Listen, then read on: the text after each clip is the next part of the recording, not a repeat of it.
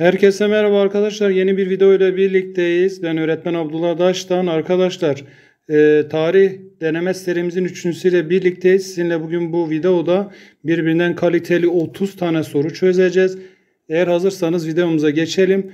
E, videoya geçmeden önce arkadaşlar destek amaçlı eğer e, kanalıma abone değilseniz kanalıma abone olmanızı önemli rica ediyorum.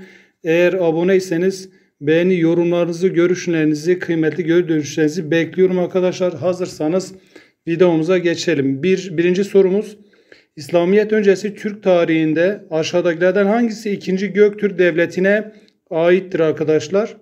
Sorumuz bu. Orhun abideleri, Karabalı Sagun yazıtları, Divan-ı Lügat Türk, Pazırık Kurganı ve Yenisey yazıtları. Arkadaşlar Yenisey yazıtları e, Uygurlar döneminden kalma bir yazıt. Yine Pazırık halısı İskitlerden kalma bir e, mezardı. Divan-ı Lügat Türk Kaşgarlı Mahmut'un e, yazdığı ilk Türkçe sözlük. Kara e, Balgasun yazıtları ise yine Uygurlardan kalma yazıtlardı arkadaşlar. Dolayısıyla Gök, 2. Göktürk ya da diğer ismiyle Kutluk Devleti'nden günümüze kalan eser Orhun abideleridir. Yani Orhun abideleri e, diğer ismiyle Kutluk Göktürk, e, ikinci Göktürk diye de biliniyor. Aynı zamanda Kutluklar da diye biliniyor. Dolayısıyla Orhun abideleri arkadaşlar ikinci Göktürk devletine ait eserlerdir. Doğru cevap şıkkımız A şıkkıdır sevgili arkadaşlarım. İkinci sorumuza geçtik arkadaşlar. Ee, sorumuz şöyle. Buna göre Türk İslam devletleri için hangileri söylenebilir? Türk İslam devletlerinde mimari alanda değişmeler yaşanmış. Kümbet, medrese, ribat ve imarathaneler yapılmıştır. Ee, bir, kendilerine has bir medeniyet oluşturmuşlardır. İki, milli benliğe gereken önem verilmemiştir. Üç, sınırlar batı yönde genişleme devam etmiş. Arkadaşlar yukarıdaki ibareden çıkardığımız sonuç şu. E, buradan anladığımız Türk İslam devletleri kendilerine has bir medeniyet oluşturmuşlar arkadaşlar. Yani İslam'dan sonra kümbetler, medreseler, ribatlar bunlar Türk değil İslamlaştıktan sonraki eserler. E, dolayısıyla arkadaşlar doğru cevap şıkkımız e, yalnız 1 e, yani 2 ile 3'e bu verilen bilgilerden ulaşma şansımız yok. Cevap şıkkımız A şıkkı sevgili arkadaşlarım. Üçüncü sorumuz arkadaşlar. Osmanlı Devleti'ne gelişmelerden hangileri ıslahat düşüncesinin olduğu hangisinde ıslahat düşüncesi olduğu savunulabilir? E, Divan-ı Hümayun'un kaldırılıp nazırlıkların oluşturulması, halkın yönetime katılması, padişahın devlet dairelerine post, portresini e, astırması. Arkadaşlar Divan-ı Hümayun e, ne zaman kaldırıldı? İkinci Mahmut döneminde kaldırıldı. Bakanlıklar kuruldu. Bu bir e, yenilik, bir reformdu. Halkın yönetime katılması meşrutiyetle başladı. Bu da bir reformdu. Monarşiden meşrutiyete geçiş. E, aynı zamanda padişahın devlet dairelerine portresini portresini arttırması, e, astırması bu da öncede uygulamada olmayan bir e, durumdu. Dolayısıyla her üçü de bir ıslahat, bir reform olarak değerlendirebilir. Dolayısıyla doğru cevap şıkkımız E şıkkıdır sevgili arkadaşlar. Çok güzel bir soru. Hem KPSS'lik hem YKS'lik hem de diğer kurumlarda bu sorular gelebilir. Dördüncü sorumuz arkadaşlar. Bu durum Osmanlı Devleti'ne durumlardan hangilerinin ortaya çıkmasına katkı sağladı söylenebilir. 3. Selim döneminde Osmanlı Devleti Avrupa'nın önemli merkezine daimi elçilikler açmıştır. Bu durum Osmanlı Devleti'nde yönetim biçiminin değişmesi, batıdaki gelişmelerin yakından takip edilmesi, sınırların genişlemesi. Şimdi arkadaşlar 3. Selim döneminde aslında ilk geçici elçilikler Lale Devri döneminde Paris başta olmak üzere kurulmuş fakat e, daimi elçiliklerin kurulmasının temel nedeni şuydu. Osmanlı Devleti 18. yüzyılla beraber e, Avrupa'dan geri kaldığını fark etti ve Avrupa'yı bir yakın markaja aldı. O dönem iletişim imkanları olmadığı için tarihle e, nasıl e, yani farklı bir yerde uzak bir yerde meydana gelen gelişmeler ancak e, birebir gözlemlerle e, neler olup bitti e, bilinebilirdi. Dolayısıyla Osmanlı Devleti batıdaki gelişmeleri yakından takip etmek için Avrupa'yı bir markaja, bir takibe aldı ve burada ne yaptı? E, daimi elçilikler açtırdı. Üçüncü Selim ve Avrupa'yı takibe alıp Avrupa'da gelişmeleri neler ol bittiğini e, görme imkanını bu şekilde yakaladı. Dolayısıyla arkadaşlar e, doğru cevap şıkkımız B şıkkı oldu. Yani yalnız 2 bu da güzel bir soru. Sorular karşınıza gelebilir. E, bu tarz sorular çok güzel sorular.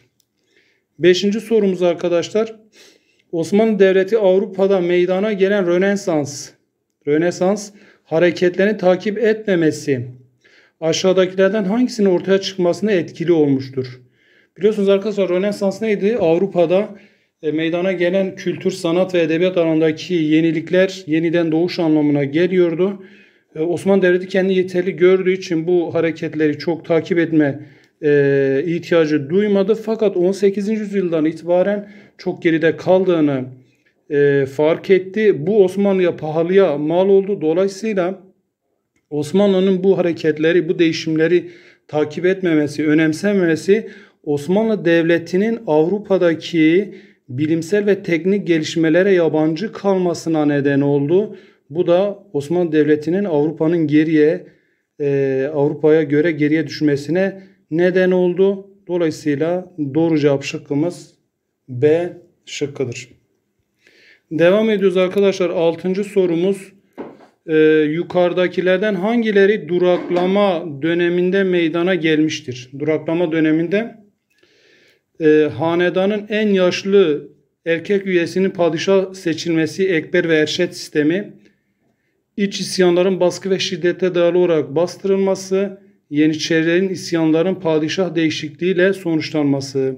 Şimdi arkadaşlar bu her üçü de yani hanedanların hanedanın en yaşlı erkek üyesinin padişah seçilmesi, iç isyanların baskı ve şiddete dayalı olarak bastırılması, Yeniçeri isyanlarının padişahların değişikliğiyle sonuçması her üçü de Osmanlı'nın duraklama dönemine ait gelişmelerdi. Dolayısıyla doğru cevap şıkkımız E şıkkıdır sevgili dostlarım. Yedinci sorumuz arkadaşlar. Yedinci sorumuz şöyle. 19. yüzyıl Osmanlı Devleti'nin yapılanmasının yapılanmasına değişikliklere gidilmesine aşağıdakilerin hangisine etkili olduğu savunulamaz. 19. yüzyıl Osmanlı Devleti'nde devlet yapılanmasında e, değişikliklere gidilmesinin nedenlerinden biri değildir. Sorumuz bu. E, ayanların taşrada askeri ve ekonomik olarak güçlenmesi var arkadaşlar. Avrupalı devletlerin Osmanlı Devleti'nin egemenlik haklarını sürekli iç işlerine karışması da var. Halkın devlete olan güveninin zayıflaması da var. Aydınların mevcut sorunların çözümünde devlet e, yapılanmasını sürekli eleştirmesi de var arkadaşlar. Fakat Yeniçeri Ocağı'nın kaldırılması 19. yüzyılda yapılacak olan yenileşmenin, yeniliklerin bir nedeni değildir arkadaşlar. Bir sonucuydu. Aslında e, biliyorsunuz Yeniçeriler ilk zamanlarda Osmanlı'ya çok faydalı olmuş, devşirlemelerden oluşturulmuş en e, kaliteli, en iyi eğitimli askeri birlikti. Fakat daha sonra Osmanlı Devleti'nde bu askeri birlik bütün yenilikleri engelleyen, e, problem çıkaran bir e, askerli birliğe dönüştü. En sonunda 2. Mahmut döneminde bu askeri birlik kaldırılarak yerine Asakiri Mansuri Muhammediye ismiyle sadece Müslümanlardan oluşan bir ordu oluşturuldu. Dolayısıyla e, Yeniçeri Ocağı'nın kaldırılması bir neden değil arkadaşlar bir sonuçtur. Dolayısıyla doğru cevap şıkkımız E şıkkıdır. Bu da güzel bir soruydu. Sekizinci sorumuz arkadaşlar yukarıdakilerden hangileri Osmanlı Devleti'nde salyaneli yani yıllıklı eyaletlerin özellikleri arasında gösterilebilir? Arkadaşlar Osmanlı Devleti'nde iki tür eyaletten bahsedebiliriz. Yıllıklı bir de yıllıksız. Yani Saryaneli eyaletler bir de Saryanelsiz eyaletler. Şimdi yıllıklı eyaletler arkadaşlar e, iltizam sistemine göre yönetiliyordu. İltizam neydi peki? Devlete ait arazilerin uzun süre kira karşılığında kişilere verilerek para direkt alınan paranın direkt e, hazineye aktarıldığı e, eyaletlerdi. Yıllıksız eyaletler ise tımar sistemine göre yönetiliyor. Dolayısıyla arkadaşlar yıllıklı yani e, salyaneli eyaletlerde burada bulunan devlete ait topraklar kişilere verilerek uzun süre kira e, gibi verilerek karşılığında alınan para doğrudan hazineye aktarılıyordu. Dolayısıyla yıllıklı olan bu eyaletlerin özellikleri arasında sadece iki sayabiliriz. Tımar sisteminin burada uygulanmıyordu. Yöneticileri halk tarafından belirlenmesi zaten Osmanlı'da uygulama e, uygulanan herhangi bir durum değildi. Dolayısıyla doğru cevap şıkkımız arkadaşlar B şıkkıdır. Dokuzuncu sorumuz arkadaşlar. Osmanlı Devleti yukarıdakilerden hangilerini Balkan Savaşları'nda kaybetmiştir? Hangilerini Balkan Savaşlarında Makedonya, Arnavutluk, Bulgaristan. Arkadaşlar Osmanlı Bulgaristan'ı 1908 yılında meşrutiyetin ikinci meşrutiyetin inanı esnasındaki karışıklardan dolayı e, kaybetmiş. Ama Balkan Savaşları sonucunda Balkan Savaşları sonucunda Makedonya ve Arnavutluk Osmanlı'dan son ayrılan devletti. E, Balkan Savaşları sonucunda Osmanlı'nın kaybettiği topraklar arasında Makedonya ve Arnavutluk sayılabilir. Dolayısıyla doğru cevap şıkkımız arkadaşlar D şıkkıdır. Sevgili dostlarım bu da güzel bir soruydu. 10. sorumuz Amasya genelgesinde alınan her türlü etki ve denetimden uzak milli bir kurul oluşturulmalıdır kararı aşağıdakilerin hangisinin oluşmasında etkili olmuştur? Temsili kurul, istiklal mahkemeleri, meclis hükümeti, düzenli ordu, müdafaa hukuk cemiyetleri. Arkadaşlar Amasya Genelgesi'nde her türlü etki ve denetimden uzak milli bir kurul oluşturulmalıdır kararından sonra e, hükümet gibi hareket eden bir kurul oluşturuyor. Temsili kurul. Bu temsili kurul ilk kez Erzurum Kongresi'nde oluşturuluyor. 9 kişi. Daha sonra Sivas Kongresi'nde bu 15 kişiye çıkarılıyor. Dolayısıyla bu karar sonucunda oluşturulan kurum hangisidir arkadaşlar? Temsili kuruldur. Çok güzel bir sorudur. İnşallah sıkılmıyorsunuz. Bu harika bu. Güzel sorularımıza devam ediyoruz arkadaşlar. 11. soru. Bu duruma göre aşağıdakilerden hangisi söylenebilir arkadaşlar?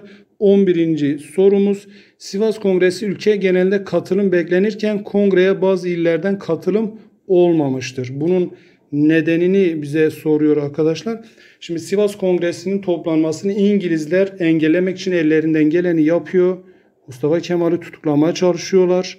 Ee, Elazığ valisi Ali Galip'e emir veriyorlar fakat bütün girişimlerine yani e, rağmen bu kongre toplanıyor fakat özellikle eğer bu kongre toplanırsa ve bu gidecek kişilerin tutuklanacağı Sivas'ın işgal edileceği e, bu büyük tabii ki insanlar üzerinde bir korku, bir tehdit, bir etki yaratıyor ve bunun sonucunda anlaşma devletleri ve İstanbul hükümetinin Anadolu'daki gelişmelerden rahatsızlık duyduğu yani kongrenin e, katılımın e, olmamasının temel nedeni arkadaşlar az olmasının temel nedeni hem anlaşma devletleri hem İstanbul hükümeti özellikle bu e, milli mücadeleden çok rahatsızlardı. Sivas Kongresi'nden toplanmasını istemiyorlardı ve bu baskıları sonucu buraya katılım çok az olmuştur. Demek ki bu baskıyı yapmaların temel nedeni ne olduğunu söyleyebiliriz.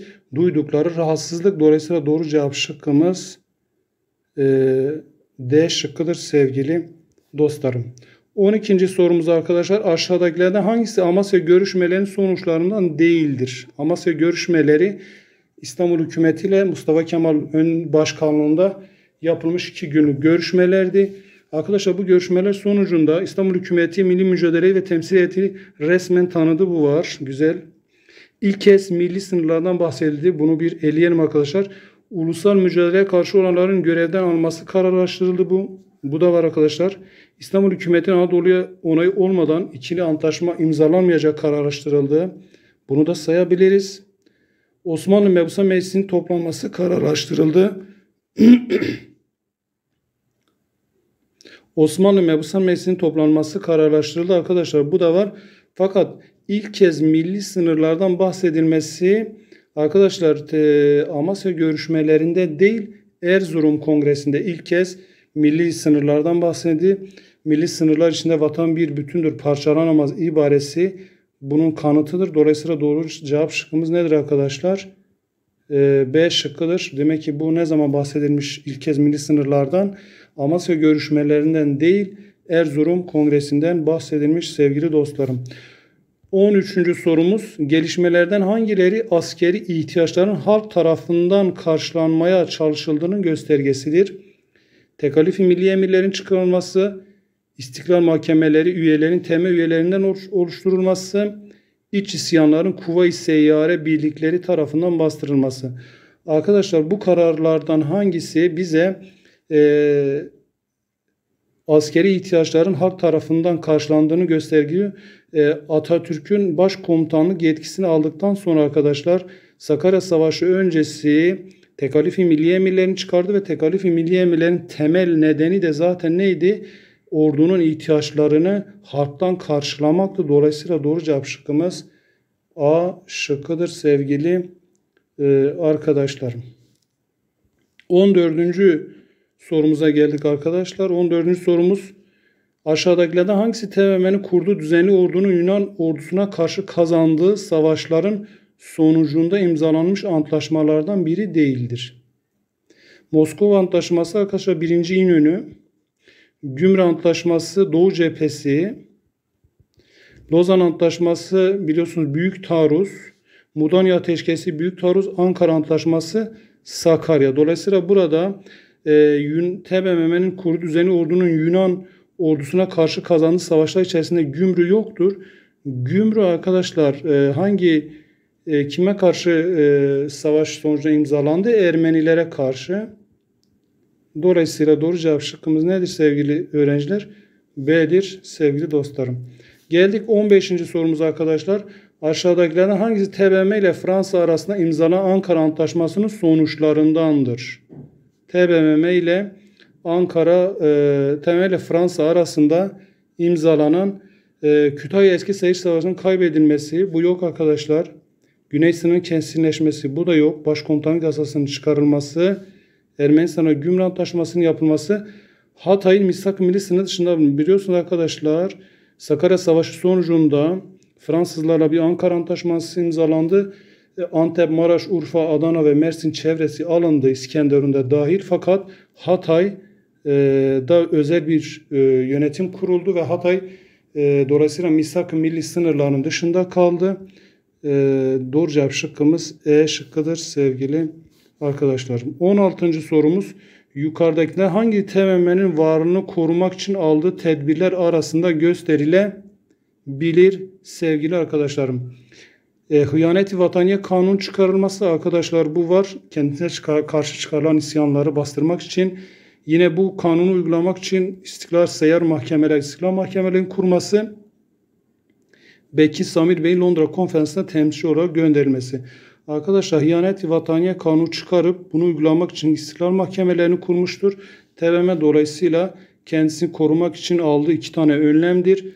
Dolayısıyla doğru cevap şıkkımız D'dir. Çok güzel bir soru. Arkadaşlar inşallah e, sıkılmıyorsunuz. Sabırla e, çaylarınızı almış, çerezlerini almış ve güzel güzel bir şekilde sorularımızı çözüyoruz. E, geldik 17. sorumuza. Aşağıdakilerden hangisi Cumhuriyet'in ilan edilmesini zorunlu hale getiren gelişmeleri içerisinde gösterilemez. Hangisi Cumhuriyet'in ilanını zorunlu hale getirmemiştir? Rejim sorunu, hükümet bunalımı, saltanatın kaldırılması, milli egemene geçilmek istenilmesi. Arkadaşlar saltanatın kaldırılması sonuçta bir rejim sorunu ortaya çıktı. Bunu sayabiliriz. Yine bir türlü meclis hükümet sistemi yönteminden hükümetin kurulamaması bu tamamıyla var. Saltanatın kaldırılması aynı zamanda milli egemene geçilmek istenmesi bunlar hepsi Cumhuriyeti ilanını zorunlu hale getirmişti. Bir devlet başkanı problemi vardı, bir yönetim, bir rejim problemi vardı. Dolayısıyla e, Cumhuriyet'in ilanı içerisinde ya da nedenleri arasında halifeliğin kaldırılması yoktur. Çünkü halifelik e, 3 Mart 1924'te kaldırılıyor. Dolayısıyla arkadaşlar halifeliğin kaldırılması Cumhuriyet'ten önce değil, Cumhuriyet'ten sonra meydana gelmiş bir gelişmedir. Dolayısıyla doğru cevap şıkkımız arkadaşlar neydi? E şıkkıdır sevgili arkadaşlarım çok güzel bir soruydu. 18. sorumuz arkadaşlar. 3 Mart 1924'te halifeliğin kaldırılması yukarıdakilerden hangileriyle ilgili bir inkılaptır? Halifeliğin kaldırılması güzel bir soru. Arkadaşlar halifeliğin kaldırılması biliyorsunuz Osmanlı padişahları hem devlet başkanı hem de dinin başı her iki işi de bir arada yürütüyorlardı ve laiklikle tamamıyla ters bir durumdu. Çünkü laiklik ne anlama geliyor? Din ve devlet işlerin birbirinden ayrılması anlamına geliyordu.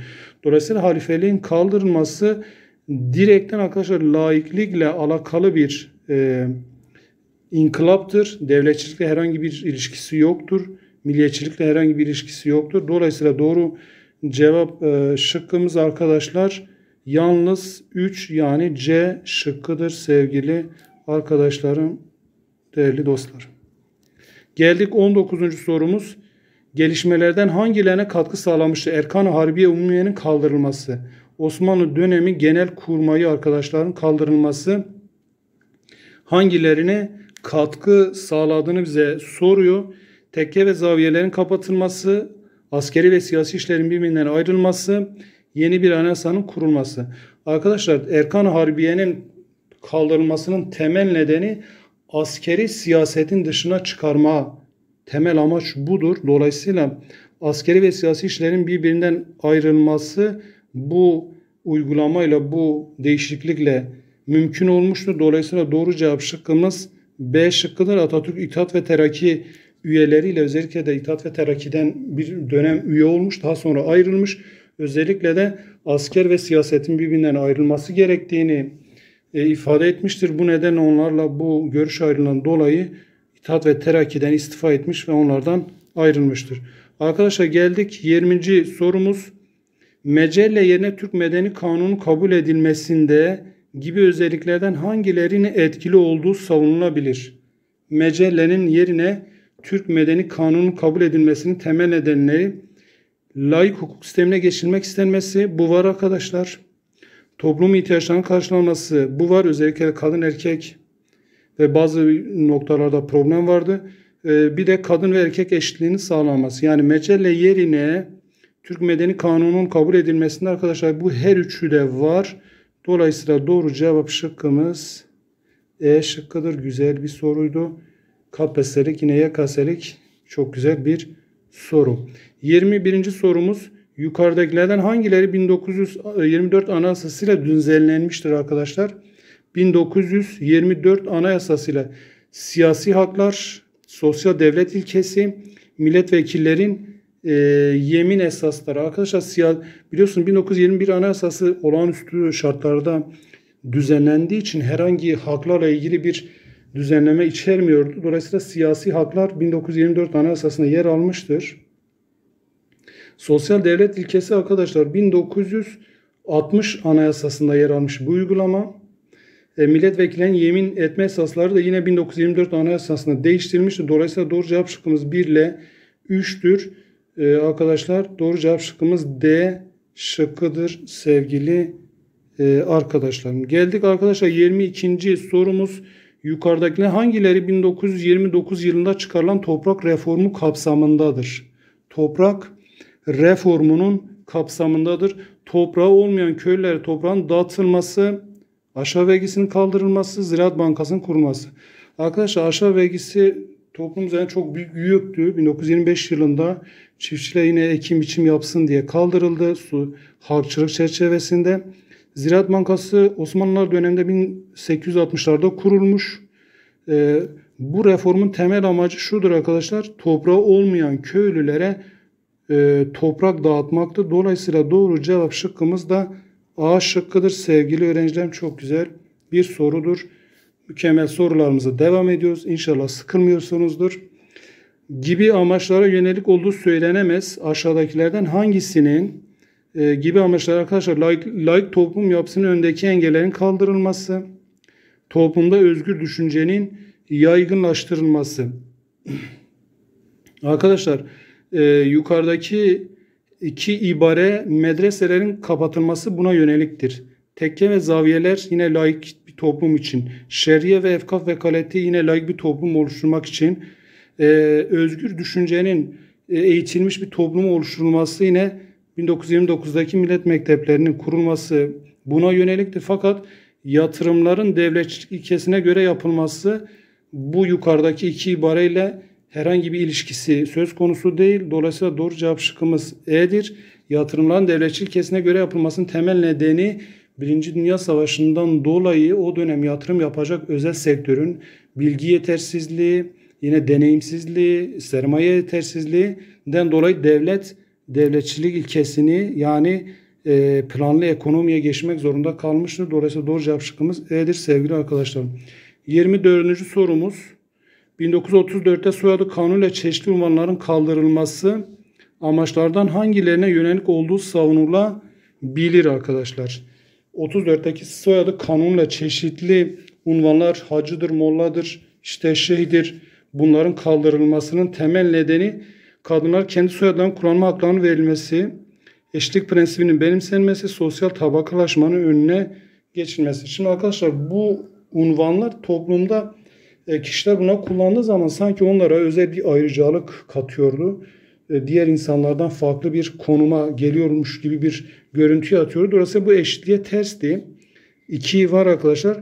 Bir de bir tabakalaşmaya sanki toplumda üstün bir tabaka varmış da e, yani şehirlik, beyzade, şehzade, bey, paşa gibi bu lakapla toplumda bir tabakalaşma neden oluyordu. Dolayısıyla bu da var. Yani e, soyadı kanunuyla bu unvanların yasaklanmasının kaldırılmasının temel nedeni eşitlik prensiplerine ters olmaları bir de sosyal tabakalaşmaya neden olmasından dolayı bu kaldırılmış. Dolayısıyla doğru cevap şıkkımız D şıkkıdır sevgili arkadaşlarım. 25. sorumuz tevhidi tedrisat kabulün kabul edilmesinin aşağıdaki gelişmelerden hangisinin ortaya çıkmasına etkisi yoktur? 3 Mart 1924'te tevhidi tedrisat kaldırılmış şey e, kabul edilmiş. Aynı gün biliyorsunuz halifelik e, kaldırılmış. Bir kere bu arkadaşlar birincisi bu kanunla e, eğitimin layık ve ulusal ilkelere göre yapılması temel amaç buydu. Aynı zamanda medreseler e, kapatılmış bu kanundan hemen sonra. E, azınlıkların okullarına patrikhanenin yetkilerinin azaltılması yine bu kanunla e, yapılan bir uygulama kültürel çatışmaları önleyerek milli ve birlik ve beraberliği evet en temelinde bu vardı. Zaten Osmanlı'nın yıkılmasının temelinde bir kültür birliğinin olmamasıydı. E, yabancı okulların tamamen kapatılması uygulaması zaten hiç olmamıştır arkadaşlar. E, 1923'te 3 Mart 19 şey 1924'te çıkarılan Tevhidi Tedrisat Kanunu'na uyma koşuluyla yabancı okullar eğitimlerine devam etmişlerdir.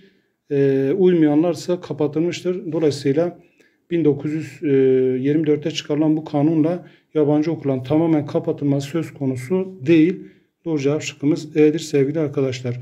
26. sorumuz arkadaşlar. 1928 yılında kabul edilen Latin harflerinin gibi gelişmelerden hangilerine katkı sağladığı söylenebilir? Okur yazar oranının artırılması, Avrupa ile bütünleşmenin sağlanması, Avrupalı devletlerle yapılan ticaretin artması sevgili arkadaşlar. Şimdi arkadaşlar bu Latin harflerin temel amaçlarından birisi okur yazar oranının arttırılmasıydı. Aynı zamanda Avrupa'nın kullandığı e, Latin harf, e, harflerini kabul ederek onlarla kültürel anlamda bir uyum, bir bütünleşmeyi de e, esas alıyordu. Dolayısıyla fakat Avrupa devletleri yapılan ticaretin artması bu daha çok ticari anlamdaki e, inkılaplarla ilgili. Dolayısıyla e, cevap şıkkımız 1 ile 2'dir. 3 e, ibaresi buna ilgili değil. Dolayısıyla cevap şıkkımız C'dir sevgili dostlarım. 27. sorumuz arkadaşlar Atatürk döneminde yukarıdakilerden hangine önem verilmiştir? Önem verilmiştir. Seçmen yaşının düşürülmesi, çok partili hayata geçirmek istemesi, kadınlara siyasi hakların verilmesi. Arkadaşlar Atatürk özellikle çok partili hayata geçiş için iki deneme yapmış. Terakkiperver daha sonra 1930'da Serbest Cumhuriyet Fırkası'nın kurulmasını e, ön ayak olmuştur. E, 1930'da kadınlara belediye, 33'te muhtarlık ve 34'te ise milletvekili e, olma yani seçme ve seçilme haklarını vermiştir. Dolayısıyla Atatürk için bu iki konu çok önemliydi. E, dolayısıyla Atatürk'ün önem verdiği iki konu e, sorulduğu için doğru cevap şıkkımız arkadaşlar 2 ile 3 Yani D şıkkıdır sevgili arkadaşlarım. 28. sorumuz e, bu durum ilkelerden hangilerinin öneminin e, kavrandığının göstergesidir. Lozan Antlaşması'nda yabancılara siyasi, ekonomik, kültürel alanda verilen ayrıcalıklar, ayrıcalıklara sınırlamalar getirilmiş arkadaşlar. Ee, neden yani yabancılara bu ayrıcalıkların sınırlanma getirilmiş? Bu hangi ilkeyle alakalı? Bu daha çok milliyetçilikle alakalı arkadaşlar. Milli egemenlikle herhangi bir ilişki söz konusu değil. İnkılapçılıkla da herhangi bir ilişkisi söz konusu değil. Ee, dolayısıyla doğru cevap şıkkımız A şıkkıdır. Ee, çünkü bu ayrıcalıkların azaltılıp e, aynı zamanda bu azınlıkların Türk vatandaşı sayılması onlara özel bir e, yine bir konumda olmalarının e, bu bu durumun ortadan kaldırılması toplumda bir eşitlik, bir barışın da oluşmasını sağlamış. Aynı zamanda büyük devletlerin iç işlerimize karışmasını da engellemiştir sevgili arkadaşlar. Dolayısıyla doğru cevap şıkkımız A şıkkıdır. 29. sorumuz arkadaşlar 1934'te oluşturulan Balkan Antantı'na sınır sorunları nedeniyle katılmayan devlet aşağıdakilerden hangisidir? Arkadaşlar Balkan Antantı'na sınır probleminden dolayı katılmayan ülke Bulgaristan'dır. Dolayısıyla doğru cevap şıkkımız A şıkkıdır sevgili arkadaşlarım. 30. ve son sorumuz arkadaşlar. Yukarıdakiler hangi Atatürk dönemi gelişmeleri arasında değildir arkadaşlar? E, Türkiye'ye e, Truman ve Marshall yardımların yapılması. Affedersin şunu bir düzeltelim. E, nüfus mübadelesi boğazların Türk askeri tarafından korunmaya başlanması. Şimdi arkadaşlar Türkiye Truman ve Marshall e, yardımlarını alması Atatürk döneminde meydana gelmiş bir gelişme değil. İkinci Dünya Savaşı Atatürk 2. Dünya Savaşı'nda vefat etmişti. Dolayısıyla bu gelişme yok. Nüfus mübadelesi 1930 Atatürk'ün sağlığında Yunanistan'la olan bir problemdi. Bu var.